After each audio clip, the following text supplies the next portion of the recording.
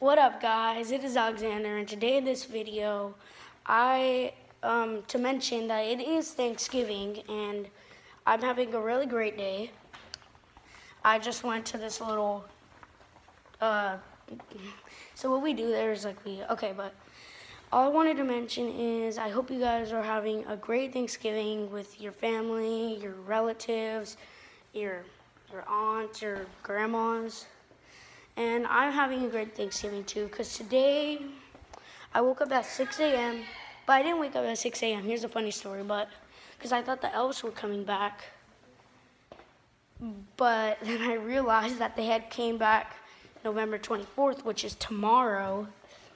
And um, I was really like, I was just like, oh my gosh, I'm so dumb.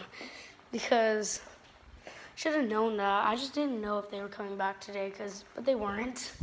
So um, yeah, what we did was today was at 7:30 we left to this little thing like we get to bake. Well, not bake, but we get to make something for the homeless, and we get to cut out pies and like make food for them. And I, I was cutting the pies. I cut out a million slices, and then but not exactly a million, maybe like at least over like a little bit over a hundred. Um, see what else. Oh, and also my mom, my two sisters were cooking, and our foreign exchange student was um, and well, her name is Esgy. She was help like wrapping it up in a bag for them.